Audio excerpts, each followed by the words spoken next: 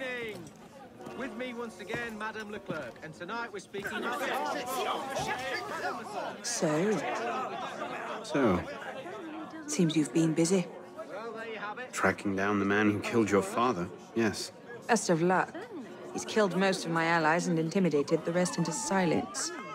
I'm no closer now than I was two years ago. We seriously consider I've seen him. What? Hope it won't come to that.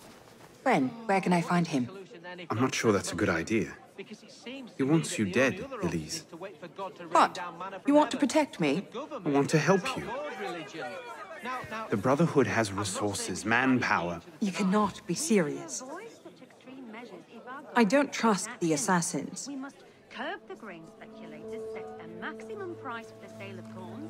We must ban the export of cereals straight away and build Do you trust me? better to reduce spoilage. If we do not, I haven't changed that much, Elise. famine the like of which we have not I'm still the same boy who, who distracted the cook while you stole the jam. The same one who helped you over the wall into that dog-infested orchard. All right. Take me to your brotherhood. I'll hear the raw fare. Offer may be a bit strong.